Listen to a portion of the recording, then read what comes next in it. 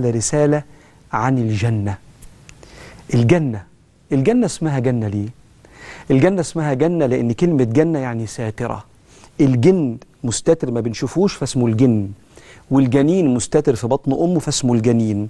والجنة ستستر من بداخلها من كتر النعيم. يعني أنت لما تخش الجنة مش هتبان من كتر النعيم.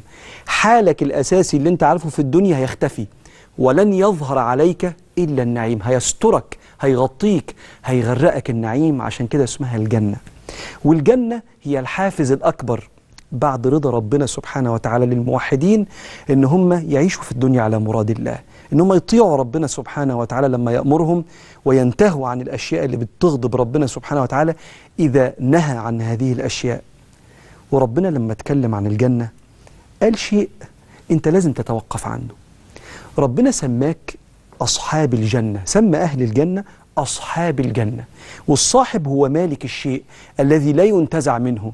مع أننا ممكن نبقى سكان الجنة زوار الجنة جنالها بعد طول عيشة في الدنيا إحنا أصحاب الجنة. درجة أن ربنا سبحانه وتعالى قال وتلك الجنة التي نورث من عبادنا من كان تقيا.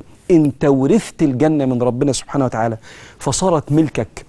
كناية عن التمكن والإحساس بالأنس. أنت مش هتبقى عايش في الجنة حاسس أنا عايز أرجع بلدي. أنت ده مكانك لدرجة أن ربنا سبحانه وتعالى بيقول ويدخلهم الجنة عرفها لهم. أول ما يتفتح باب الجنة أنت متوجه لبيتك كأنك عارفه في الدنيا.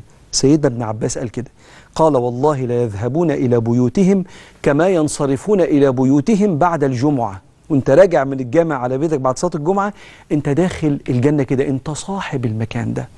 وأجمل ما ذكر في الجنة إن ربنا سبحانه وتعالى بيقول إن الجنة وعد ربنا.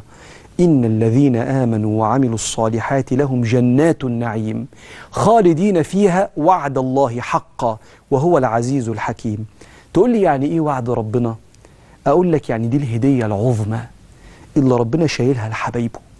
وكأن ربنا بيسيبك بقى تتأمل وتتخيل وتسرح بخيالك في عظمة وجمال إمكانيات ربنا لما يكون بيجهز هدية بعد طول السنين اللي هنعيشها في الدنيا. وعد الله. وربنا سبحانه وتعالى قال إن أقل واحد في الجنة من الفائزين. الجنة ما فيهاش غلابة. الجنة ما فيهاش طبقات. بسم الله الرحمن الرحيم. كل نفس ذائقة الموت. وإنما توفون أجوركم يوم القيامة. فمن زحزح عن النار وأدخل الجنة فقد فاز. وما الحياة الدنيا إلا متاع الغرور. فالعلماء بيعلقوا بيقولوا أقل واحد في الجنة يشعر بشعور الجمال والفرحة والمتعة زي أعلى واحد في الجنة. فليس هناك مقارنات فليس هناك شعور بالقلة ولا أي شعور بالمقارنة لأن الجميع غرقانين في متعة ربنا في الجنة. يا عبادي لا خوف عليكم اليوم ولا أنتم تحزنون. الذين آمنوا بآياتنا وكانوا مسلمين ادخلوا الجنة أنتم وأزواجكم تحبرون. يطاف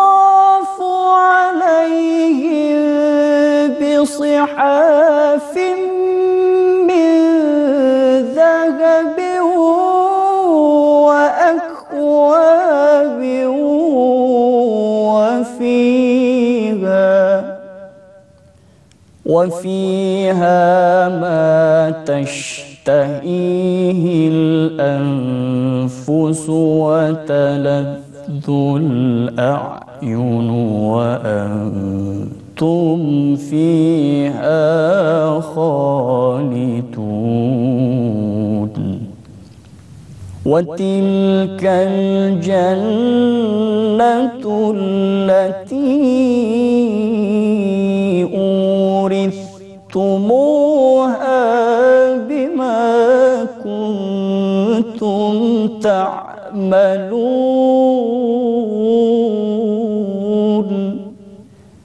لكم فيها فاكهة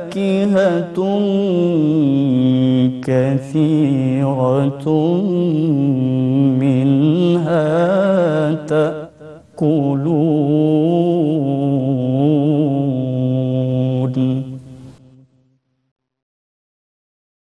ربنا سبحانه وتعالى في رسالته عن الجنة في القرآن استفاض جدا في شرح مشاعر أهل الجنة وخروجات أهل الجنة وقعدة أهل الجنة وأسباب دخول الجنة. فقبل ما أتكلم مع حضراتكم عن النعيم المعنوي والنعيم المادي ثم أسباب دخول الجنة ربنا حكى لنا عن مشهد تجمع الناس عشان يخشوا الجنة مع النبي عليه الصلاة والسلام. ربنا بيقول في سورة الزمر وسيق الذين اتقوا ربهم إلى الجنة زمرا. زمرا يعني مجموعات. حتى إذا جاءوها وفتحت أبوابها وقال لهم خزنتها سلام عليكم طبتم فادخلوها خالدين. في مكان بعد النار الناس هتعدي يا رب مع بعض كلنا الصراط من فوق النار وبعدين ينتظروا سيدنا النبي في مكان. يخلص النبي الشفاعة على الصراط ثم يأتي عشان أول واحد يفتح أبواب الجنة بإيديه الشريفة هو سيدنا محمد عليه الصلاة والسلام. المكان ده هنتقابل فيه. بعد يوم الحساب وكل واحد مشغول بحاله هنتقابل في الحتة دي.